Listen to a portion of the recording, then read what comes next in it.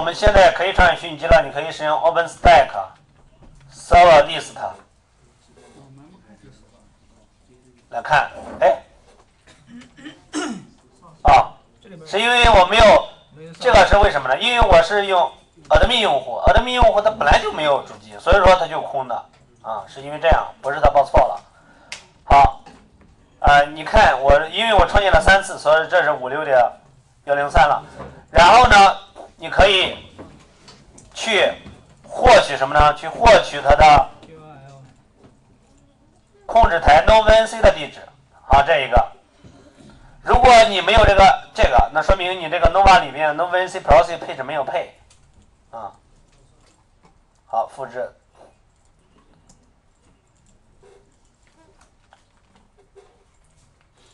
好，这样你就可以，这是我之前登录的。好，你也可以退出五六六幺三，好，没问题。呃，注意要使用火狐或者谷歌浏览器才行，其他浏览器打不开，因为这是 AT85 的，其他浏览器可能不支持。啊，这你看这个 AT85 我说了，它是通过，你看这个六零八零看到没有？就你在我这个 Web 界面上的操作会被这个六零八零转到五六点幺幺上的五九零零端口，对吧？是五九零零吧？对吧？VNC 的端口五九零零开始嘛，我们出现一个就是五九零零，看到没有？嗯。它会从这个这个节点上的六零八零转过来，你看一下，ISO ISOF 杠 I 冒号五九零零杠 N。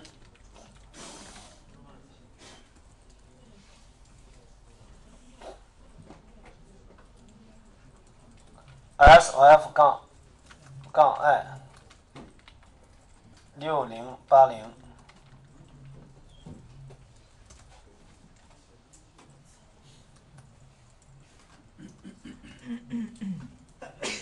好，这是这个我们虚拟机的创建。当你虚拟机创建失败，那么步骤下面这几步。第一步，我已经提供了这个配置文件，你要把所有的配置文件 diff 一遍。不要觉得麻烦，不要觉得麻烦。你不 diff，到找到最后，你会发现，我靠，就是那个配置写错了。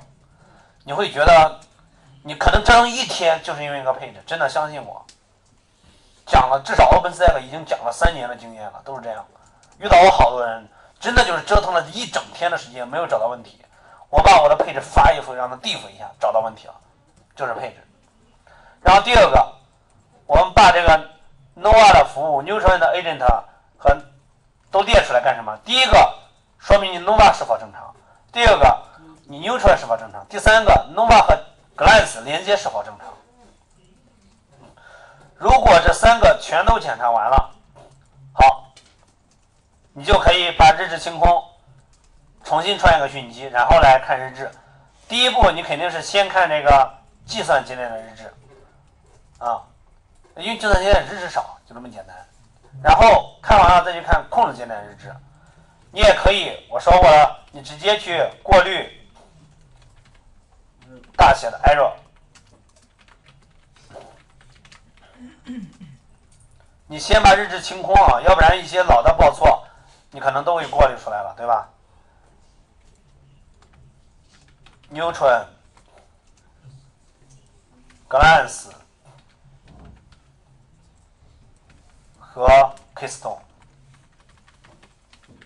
啊，所以说经常在群里有人问创建不了虚拟机怎么办？很难办，因为你要干的事太多了，一两句话跟你说不清楚。任何一个配置都有可能导致你创建不了虚拟机，而且你还得把你的环境什么的各种网络环境什么都描述清楚。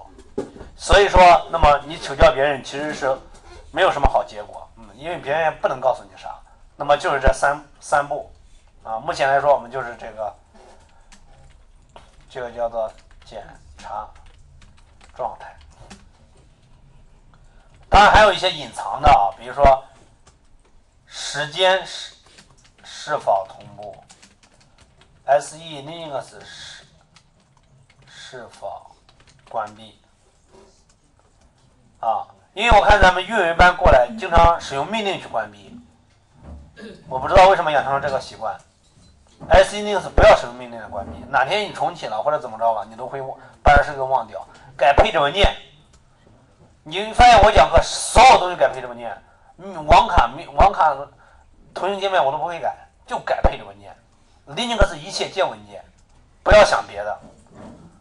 包括那个之前咱们设时区，其实我不这么设，就是直接 CP 时区文件覆盖过去，就是所有的一切都是以配置文件为主，不要使用其他的任何的其他的方式，都会对你的生产造成影响。就是说，虽然说我们现在做实验，你可以这么来想，现在这是你的生产环境，那怎么办？对吧？你生产环境不能推倒重来吧？你说我靠，出现不了讯机，我把讯机还原，生产环境你干不了，那么现在。好，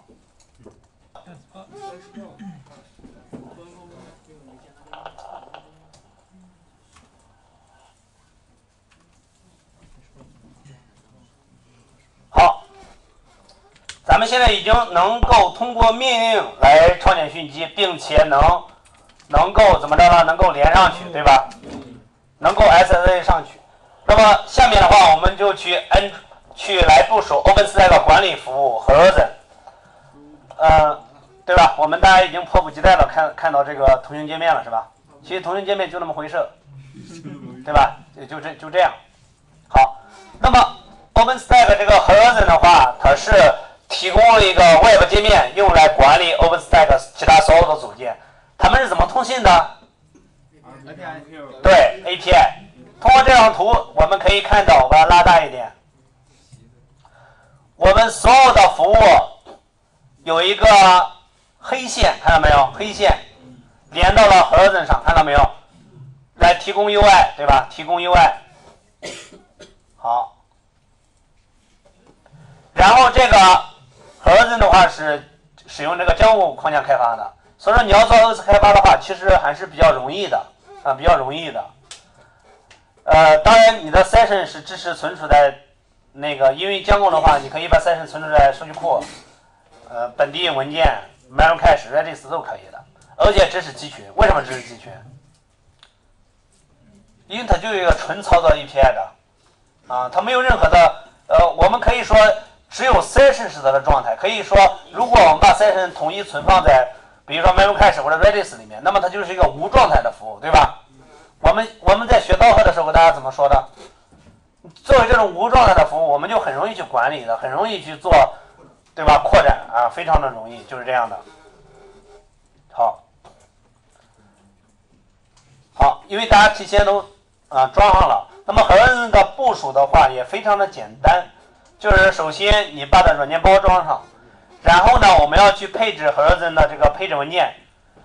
我们现在我们还没有去看到，对吧？我先提问一下，Horizon 的配置文件我们要改什么东西？谁说数据库的？等下罚站。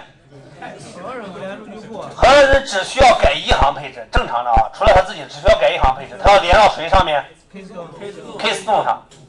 何人只需要连到 Keystone 上，为什么？因为它注册因为 Keystone 它是一个什么？它是一个注册中心，对吧？在 OpenStack 架构里面，Keystone 相当于 SOA 中的一个注册中心，对吧？有点类似于我们 Double 里边呢，使用 Zookeeper 做这个注册中心，对吧？所有的服务都在 Keystone 做注册，所以说我盒子想获取你现在都是什么服务，这些服务的 URL，我其实只需要能让我连到 Keystone 上就可以了，对不对？安装的话，我们大家应该都装上了，我这个可能没有装，我们装一下，yum install 杠 y openstack 杠 desktop，呃，我这个讲师机可能没有装，大家可能已经提前装上了，如果没有的话，大家装一下。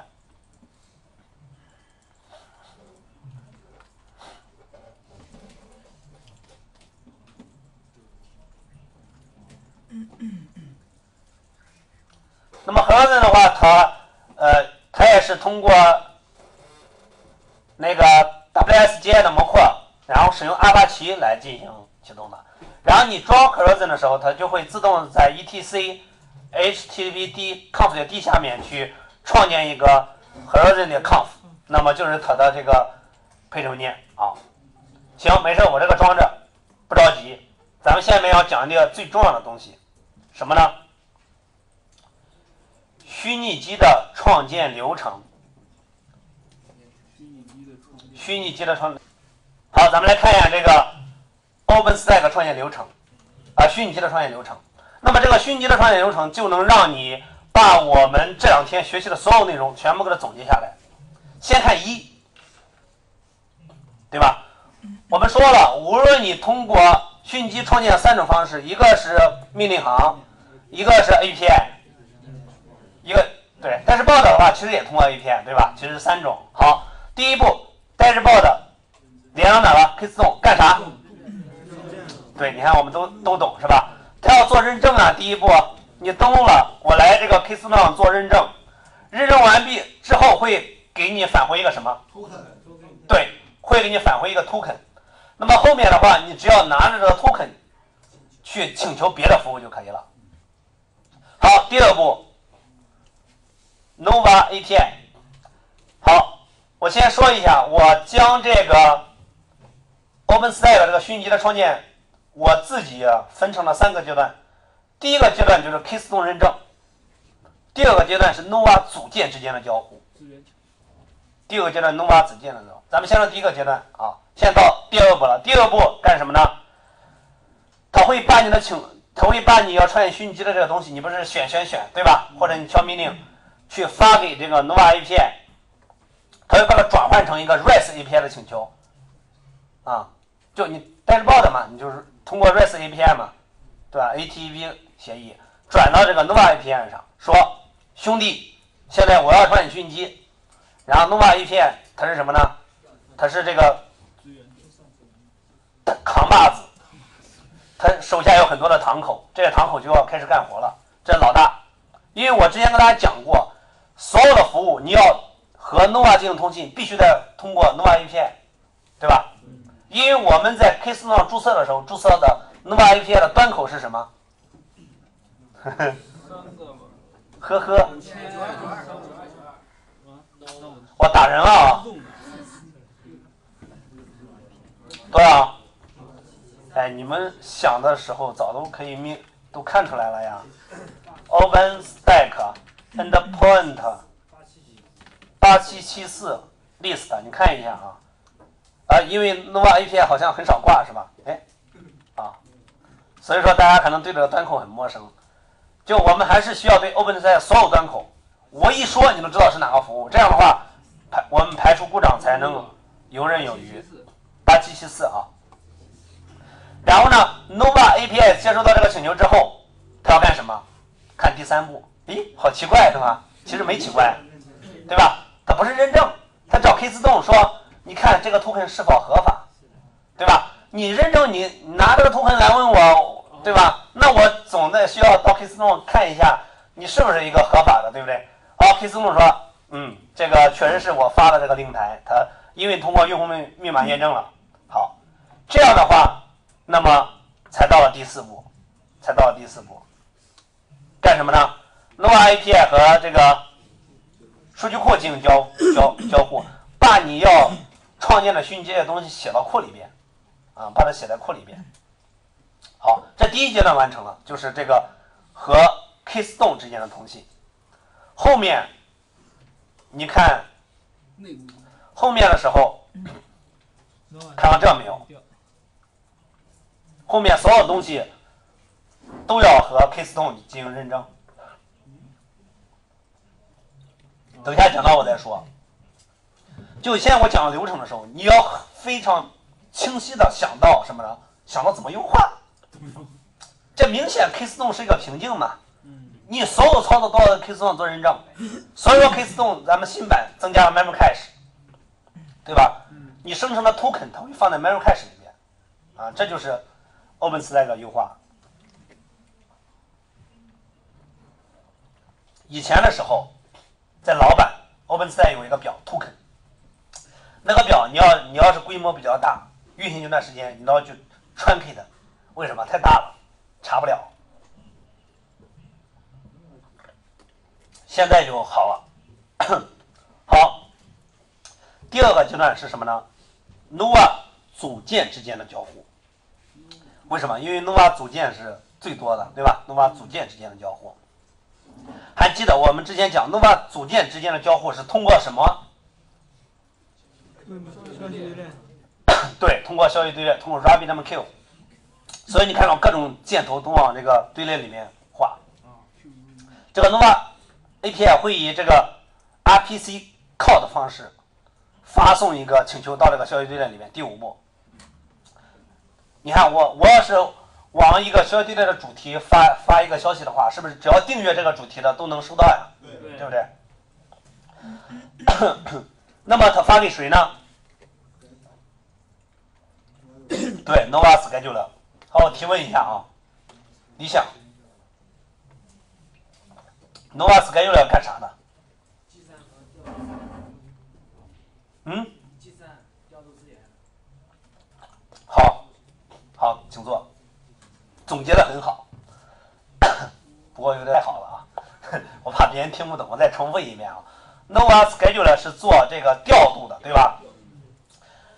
我那么多的计算节点，你这个讯息到底要创建到哪个哪个那个计算节点上？我要进行调度，调度我讲了分为两步，第一步先过滤，我先算一下有哪些计算节点能创建这个讯息。第二步计算权重，对吧？你比如说我有五十个节点的物理节节点的集群，然后我第一步先过滤一下，发现有十个节点都还能创建讯息。然后到底传现到哪个上面呢？再调度，再计算这个权重。计算权重的话，Nova 不是这个 Nova 有很多这种算法，默认的算法就是最小资源先创建啊。谁的资源，比如说你其他的都创建了五台，这一台四台，那么这个请求一般都会创建在四台那个上。默认情况下，这个可以改，可以自定义。所以说这个 Nova Schedule 人家它不是 Nova 通知它的。它是人家很自觉的在这个队列上面对吧？监听的这个消息队列的主题，一听到，哎，他就知道他要干活了。然后这个 Nova Schedule 和这个呃数据库进行沟通，啊，去干什么呢？去把这个呃做一些相关数据的一些一些对吧？你这个数据库里面所有的资源都在数据库里面，每个机器什么的。然后直接我们直接看这个第八步，就是呃到最后。第八步，那个 Nova Computer 也看到了这个。其实这里边我不知道它的箭头官方为什么这么画，可能是因为这一个就代替了吧。就是说，它算完之后，它会发到这个队列里边的。这个 Nova Computer 就知道了，就是它让哪个 Computer 去创建，哪个就能就能看到，说哦，让我干活了。比如说，咱们现在有台机器的 Nova Computer 看到了，说哎，这个老大让我去在我这创建一个虚拟机。好，他创建虚拟机。是我要创建了，怎么办呢？我我要去看一下你要创建什么东西嘛，所以他要去数据库里面创建，啊，他要去数据库里面去去看一看，说我都要创建什么东西。这是这个图是老图，为什么是老图？我记得我跟大家讲过，新版的 Nova Computer 是不能直接连接数据库的，因为它也没有连接方式，我们没有配置，对吧？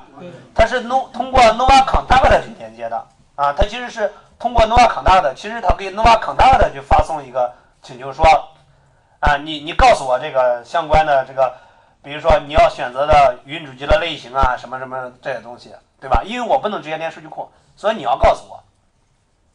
所以第九步这个箭头你可以忽略啊，因为它其实是通过 Nova Contact 去获取的，然后 Nova Contact 去和数据库去进行沟通。看第十一步，这样其实是 Nova Contact 和这个数据库进行沟通。啊，这个图有点老，这个第九步不应该这么画。啊，沟通之后把数据返回给这个 Nova Computer，你看到没有？他们之间通信全是通过消息队列，全是通过消息队列。所以说我说过了什么？消息队列是我们整个 OpenStack 组件的交通枢纽，它要是挂了，你就创建不了虚拟机了。但是我跟大家又跟大家讲过，你只是创建不了虚拟机，你所有正在运行的虚拟机是不受影响的，对吧？嗯如果受影响，那这个架构就太脆弱了。好，下一个阶段是什么呢？下一个阶段就是 Nova 服务和其他服务之间的通信。Nova 自己完事了，现在已经确定好了，是哪个 Nova Compute 要他要去创建虚拟机，对吧？他要创建虚拟机呢，他是不是要获取各种不同的资源呀？镜像、网络、存储，对吧？好，那么这个 Nova Computer 怎么办呢？先看第十二步，说他带着这个哦这个 token 呢，说镜像老大哥，你能给我一个镜像吗？然后呢，镜像老大哥听了听到了这个请求怎么办呢？先去 K 中验证，对，看第十十三步，你说给就给，没那么容易，对吧？我先去段看一下你带着的 token 对不对，有没有过期啊？你是不是伪造的？好，没有问题之后呢，好，那么这个验证成功之后呢，这个 Glance 就会把这个给它分配一个镜像，对吧？然后 Nova Computer 又开始找网络了，对吧？有镜像没用啊，得有网络呀。说 Neutron 老大哥，你能不能给我一个，给我创建一个端口？是不是创建个端口？网络子网们提前创建好了嘛？要创建个端口，就相当于帮我们在交换机那个端口和我们物理机接一根网线嘛。你给我创建个端口。Neutron 说，你说创建就创建啊？当然不行了，我再去 K 四端问一下，再验证一下你们的 token，没问题。好，我给你创建。最后第十六步，找到了。存储啊，我们还没学，就是如果有云硬盘的话，啊，你说你给我个云硬盘，他说好，你稍等，我就 K 四上问一下，没问题，好，给你一个。好，其实这里边还有第十八步，这这个图没画出来啊。最后一个阶段，第十八步这里面没画，就是说，Nova Computer 去调用默认 KVM 来创建这个虚拟机。因为我说了，Nova Computer 不仅仅可以创建 KVM 虚拟机嘛，啊，对吧？他通过 libvirt 调用 KVM，说 KVM 兄弟，你赶紧给我创建虚拟机，你所有的材料都准备好了，这就是做饭嘛，所有东西都准备好了，就就开始让你炒了。好，然后 KVM 就创建了个虚拟机。这个同时，这个同时，这个 Nova API 会不停的去询问，去轮询这个。去查什么？去查数据库，看你那个状态。你看我们创建的时候，那个状态会更新。我们在命令行上看不出来，大家在外部界面也能看出来，那个那个状态会更新。为什么？它会不停的去轮询，异步的去轮询，你的状态是什么？你会看到几个状态，什么什么 build 什呃不是，先开始是那个是 schedule，先导入怎么怎么样啊？然后创建有好几个步骤。好，现在，嗯，我们来看一下我们的 Neutron 部署好了吗？装完了，嗯，装完了。好，我们来对 Neutron 进行配置啊，vm etc openstack dashboard local settings 这个。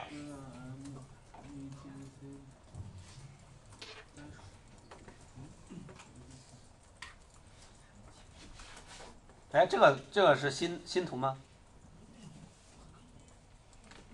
好，这个啊，打开，配置什么呢？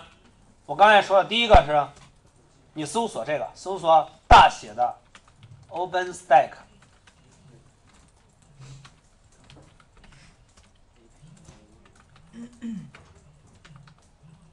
这个是在第一百五十八行，第一百五十八行。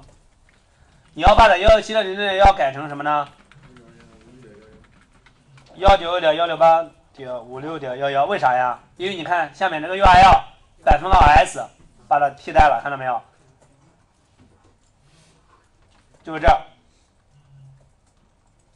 然后你看这个 URL 有没有觉得哪里不对的样子？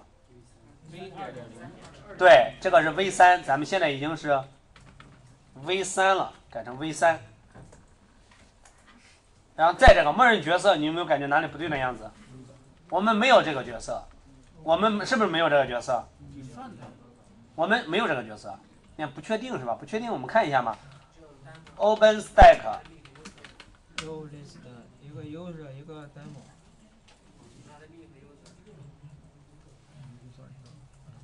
是不是没有？对吧？我们只有一个 user，好，改成 user。老的版本是这个啊，新版本都是这个 user。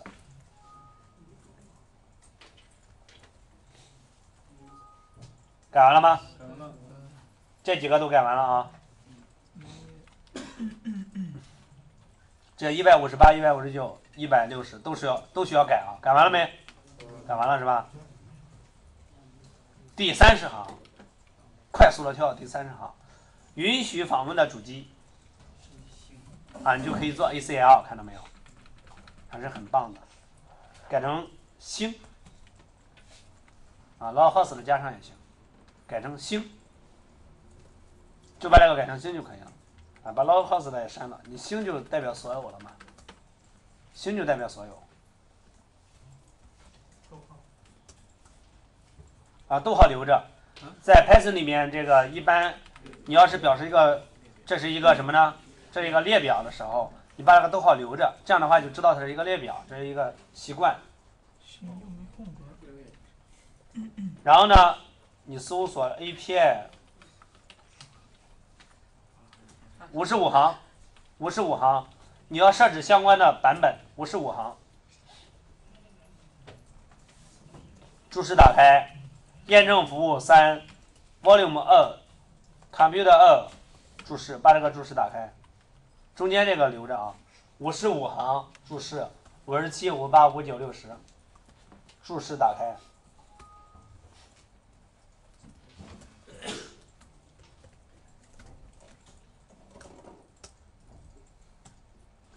好，我们看还有什么配置？呃啊，存储绘画我们先不不用加啊，你知道就行了。启用对域的支持，哎，你直接搜索一下。啊，六十四行就在这，等于 true。六十四行等于 true。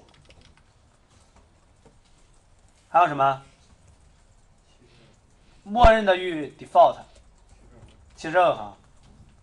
直接把注释打开就可以了，对吧？还有啥？这配了。好，禁用三层网络，因为咱们现在是单音扁平网络，所以说要把相关的没用的选项去把它禁用了。如果不禁用，等下会报错，会引起你的误导。二百六十行，二百六十行，把这些 true 的改成 false，f a l s e，false。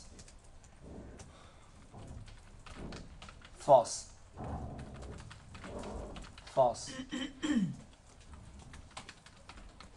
false 好悲伤的话题啊，都改成 false。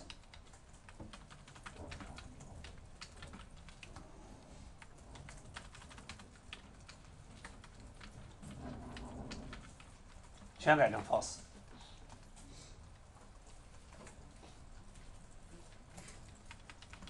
改完了。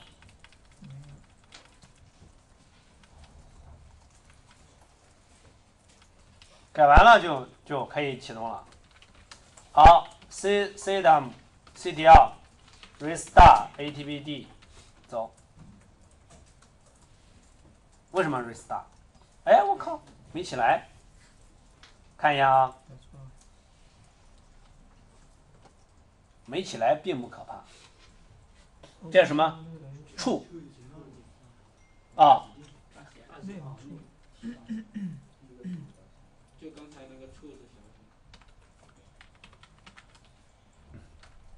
嗯，挺任性的，看到没有？还得让我大写。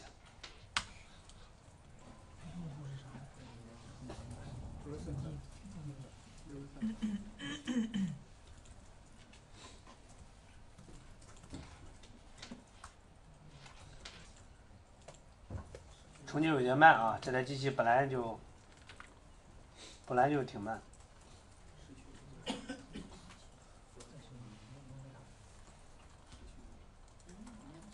起来了，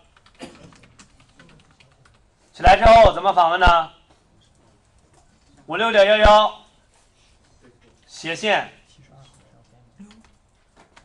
dashboard 啊，第一次你访问会比较慢一些啊。好，打开了，默认的域什么来着？default 用名啊，咱们先用普通用户进去。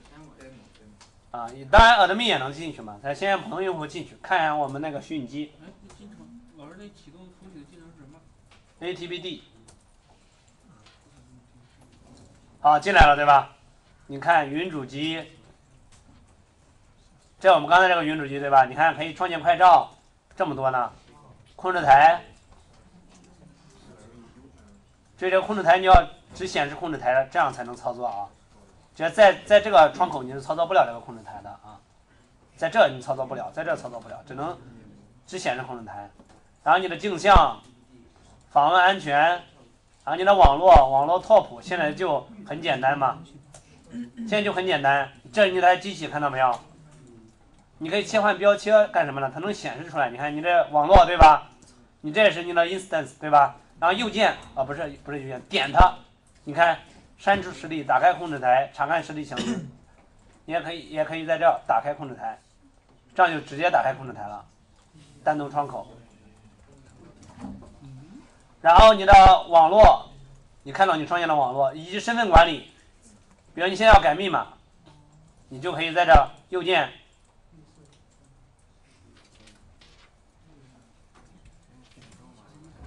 设置，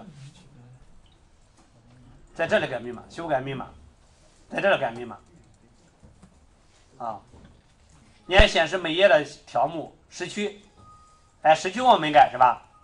好，我们来配置文件把时区改一下啊。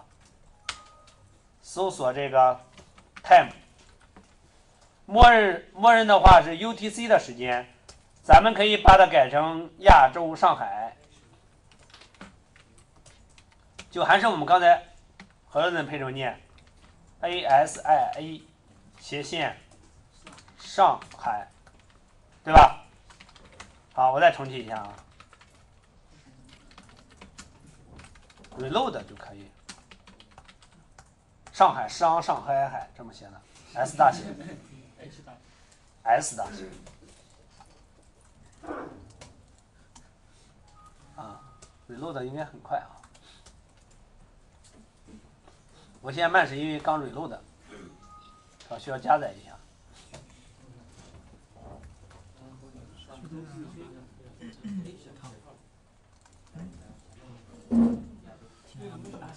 啊，你还可以使用 admin 登录啊，使用 admin 用户登录。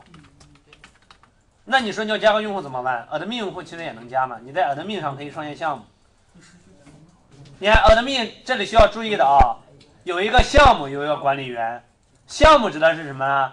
就 admin 自己他也能创建虚拟机，管理员这里边才是你管的。